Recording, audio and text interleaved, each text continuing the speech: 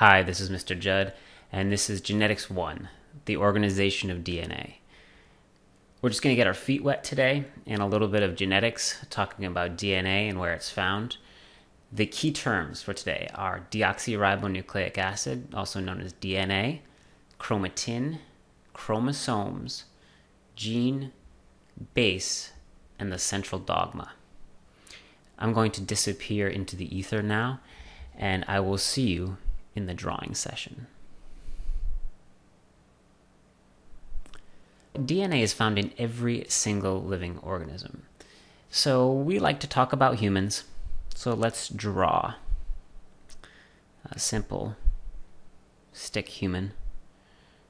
Make make him or her smiling. Uh, we'll make it a her. Yeah, you can tell from the hair.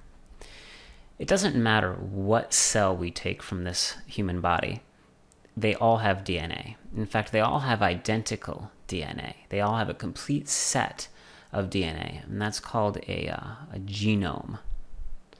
There's a bonus word for you. A genome is a complete set of DNA, and it's found in every single cell of the human body, except for two exceptions sperm and egg. Uh, it doesn't matter. So, if we take a nose cell we'll have the complete genome. If we take a foot cell, we'll have the complete genome. And if we take a hand cell, we'll have the complete gen- genome. This might hurt though. I'm going to take a liver cell. So here's our liver cell. I've blown it up like under a microscope. Let's label it. This is our liver cell. And inside of that cell, there is the nucleus, the command center. And I'm going to pull that nucleus out so you can see it in greater detail.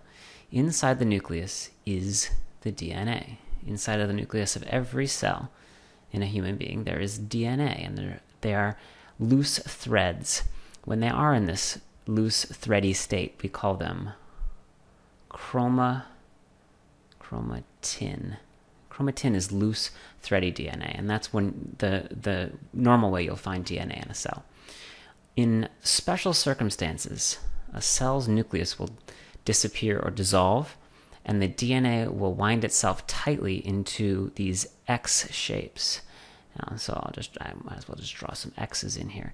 And these X's, you may be familiar with when we talk about DNA, those X's are chromosomes. There are 46 chromosomes in a normal human cell, and I'm going to take one of those out and I'm going to draw it in greater detail. So,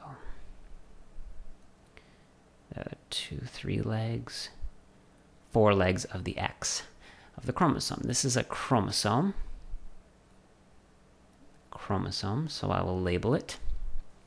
And you can see that it's made of the same stuff. It's made of DNA, deoxyribonucleic acid, which is a long thread. If you took all the DNA from one single cell and stretched it out, it would stretch about seven feet long.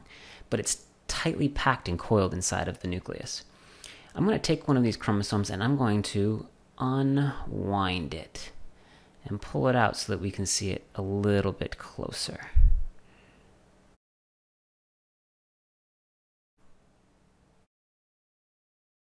once we zoom in on DNA, you'll start to see that it has some structure. And you might be familiar with this structure. It is the double helix or twisted ladder of DNA. And we're looking at one section of that DNA. That one section is called a gene. A gene. A gene is one section or segment of DNA. So from here to here is one gene. From there to there might be another gene. There's another gene another gene, another gene, another gene, another gene. And there are thousands of genes on every chromosome. Sometimes you will see dark bars written or labeled on a chromosome, and those represent one of the thousands, each bar represents one of the thousands of genes on each individual chromosome. The last structure we're going to talk about within DNA are the rungs of the ladder itself, and they are called bases. Uh, bases we will talk about in greater detail in a later video, but bases are the chemicals that make up the rungs of the ladder, and they are smaller than a gene. So now we have all of the levels of organization. I forgot to label my nucleus, but it should be there. So we've started with a cell. We took out its nucleus. Inside the nucleus, we found chromosomes. Inside of chromosomes, we found genes. And inside of genes, we found bases. This is the hierarchy of organization within DNA, and you'll need to know it. The last idea in this video is what's called the central dogma. Central dogma, which basically means big important idea. And it tries to relate how DNA makes you. We all know that DNA makes us us, but not many people know exactly how it does that. What does DNA do to make us? Well, DNA is really a blueprint. DNA is a blueprint for what?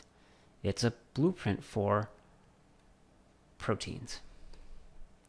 And that might not sound very exciting to you, but you are made of hundreds of thousands of different proteins. For example, your hair is protein. Your skin is made up of a protein called collagen. The hemoglobin that carries oxygen to all of your cells within your blood is made of protein. Proteins run your body. You are the result of proteins and protein actions. That's you. So proteins then determine determine our traits. And traits are your characteristics. For example, whether you have brown hair or blonde hair, whether you have blue eyes or brown eyes.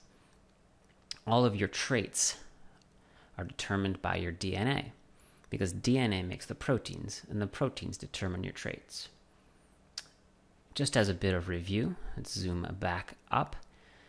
The key terms that you were supposed to get out of today were deoxyribonucleic acid, DNA, chromatin, which is loose DNA, chromosomes, which are wound up, coiled coils of DNA, a gene, which is one segment of DNA, base, which is the rungs of the ladders within a gene, and the central dogma, which is the big idea that says that DNA makes proteins and proteins determine your traits.